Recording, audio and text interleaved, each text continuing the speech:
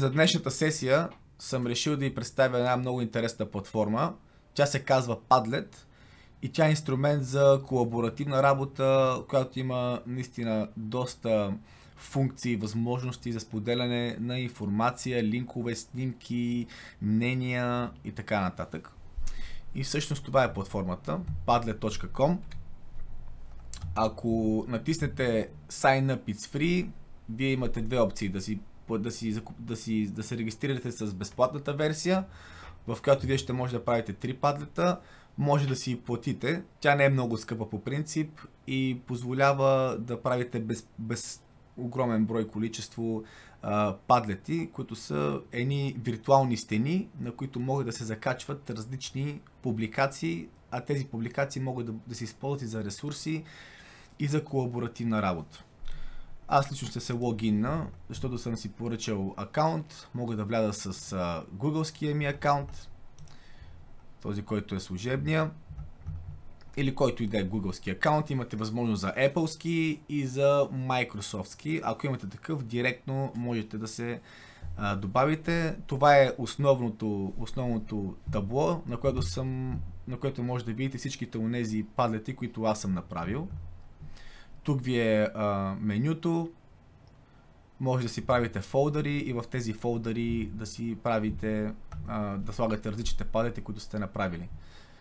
Тук имате три опции, да се присъедините към Padlet, да разгледате галерията, която всъщност са всичките падлети, които хората са ги дали като публични и цял свят може да ги гледа, което е много яко също. И нека направим един падлет. Тук на това копче, като натиснете, ви излизат различните падлети, които вие може да направите. Имаме възможност за стена и тук различните опции, за които ще направя видео. Аз ще избера за този падлет за моите ученици със седми клас, които в момента ме слушат, между другото, да направим ето този грид. Тази мрежа всъщност. Решетка. И ако натисна Select, вече падлета стартира и това е нашето меню. Тоест тук ние сега ще направим основните, а, основните а, специфики и характеристики на Padlet. Аз ще го кръстя тук. А, примери за, сложни, за сложно съставно изречение. Това е нещо, за което ще говорим с седми клас днес. Като инструкция ще запиша, потърсете а, в интернет или в различни текстове а, примери за сложни съставни изречения и ги запишете като отделна публикация. Тук мога да си избера иконка. А, да, тук мога да си избера иконка за а, моя падлет. Ще, аз ще избера, ще избера, нека да изберем една кружка. Като за идеи, в момента в който съм я натиснал, връщаме тук назад и то вече ми е го запаметило. Тук имаме адрес на падлета, тук имаме даже и код. Тук мога да наглася различни видове картинки за фон, което също е много готино. Аз ще избера ето тази на този етап. Готово. Връщаме се назад. тук имаме какъв да бъде шрифта, с който ще се пише. Тук идваме до секцията с публикациите. Аз ще а, реша всеки един, който публикува в моята в, в падлета, да може да му се вижда името. Всеки един нов, тук мога да реша къде да се позиционира всяка една нова публикация. Дали да бъде а, в началото или да бъде последна. Аз ще сложа всяка една нова публикация да дойде на първо място. Ще позволя коментирането под всяка една публикация. Ще позволя и да, си, да има и реакции. Ще сложа едно сърчице за тези, които харесват примерите, които всеки един публикува. Uh, тук няма да давам опция да всяка една публикация да бъде одобрявана от мен като модератор. И тук всъщност, uh, да, тук евентуално ако някой си позволява да говори неприлични думи, да, бъде, да бъдат uh, цензурирани с uh, емотиконка. И всъщност, когато това нещо го направя, аз имам основните uh, характеристики на моя падлет. Като натисна Next, и той вече е готов. Аз мога да публикувам вече. Това е само първата част.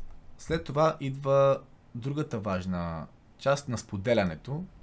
И аз тук имам няколко варианта да направя това нещо. Единият вариант е да поканя чрез имейл, ето тук, и мога да пиша мейли на, на ученици. Но другото нещо, което е много готино, е, че ето тук могат да бъдат споделяни тези всичките падлети, които аз правя. И най-важното за всички нас учители е, че ето тук имаме споделяне в Google Classroom. И ако натисна това копче, ми излиза ето това прозорче, на което, в което аз също мога да възложа задачата на моите ученици директно в Classroom. Натискам тук, намирам си седми клас, решавам това да бъде задача, натискам Go и тук директно ми отваря Google Classroom секция, в която аз пиша характеристиките на задачата, която аз задавам. Когато това съм го направил, тук решавам задачата да няма да оценявам. Това ще бъдат само примери, от които ние да черпим идеи и представа за това какво представлява сложно съставно изречение. Дата, няма да възлагам дата, това ще бъде работа в час. И тук на топик мога да си задам нова тема, трябва да бъде сложно съставно изречение. Когато това е готово, ето тук, ако забелязвате, това е линкът към Padlet. В момента, в който давам Assign, задачата е възложена. Даже мога да си я, да си я видя. Ето мога да видя самата задача. Я да видим какво ще излезе. Ето. Излезе директно моят класрум, в който аз мога да видя, че задачата е вече ето тук и готова за работа, което е страхотно. И тази част е готова. Затваряме close. Много е важно, ето тук да видите за, на privacy, когато дадете. А, тук може да промените групата да бъде а, тайна, т.е. тези, които получават линка, а, те да могат да работят. А, мога и да бъде, може да я направя публична, да бъде споделена с абсолютно всички, да може да бъде виждана от целия свят буквално. Тук може да бъде с парола, може да бъде и частна. Друго нещо, което е изключително важно е ето тук да натиснем Visitor Permissions, т.е. позволенията на тези, които посещават а, конкретния Padlet. Като го натиснем, трябва да бъде натиснато на Can Write, т.е. че те могат да пишат. Има и опция само да четат и да не правят нищо друго. Имат опция да пишат и да редактират после публикациите. Ако натисна само тук, те ще могат да пишат, а само аз ще мога да редактирам което е много готино. И това нещо може да се променя постоянно. Тоест мога да им дам сега имате 40 минути да пишете и след това спирам това позволение и оттам на след могат само да гледат, могат да им дам и да редактират. Зависи от а, идеята на моята задача, която а, съм решил да им дам. Когато това всичкото нещо е готово, аз мога да публикувам. С ето това плюсче долу, когато натисна плюс, ми излиза ето това прозорче. И тук всъщност, когато учениците влязат в тази платформа и натиснат това кръстче отдолу, те съвсем спокойно могат да публикуват вече. И това може да стане по изключително много начини. Първо тук имате 4 опции, но ако натиснете ето тук, излизат всичките от тези функции, които Padlet притежава. Вие, вие може да качите снимка или някакъв файл от компютъра, може да качите линк, може да качите снимка, видео, аудио и гифче от Google. Може да направите снимка от телефона, може да, гледате, да направите видео от телефона, може да запишете гласа, може да запишете дори екрана, да направите рисунка, да, да, да, да а, покажете локация към даденото място и това всъщност е, а, може да бъде използвано много интересно. Или пък може да направите връзка с а, друг падлет, който вие сте използвали или от който вие сте част всъщност. За тази задача аз ще искам от учениците да направят следното нещо. Ето тук, не толкова на заглавие, а колкото като а, коментар, а, те да запишат всъщност заглавието и нека а, самото изречение, но нека пробваме тук. Ето да пробваме така. Човекът, който ходеше на работа, сега си стоеше вкъщи.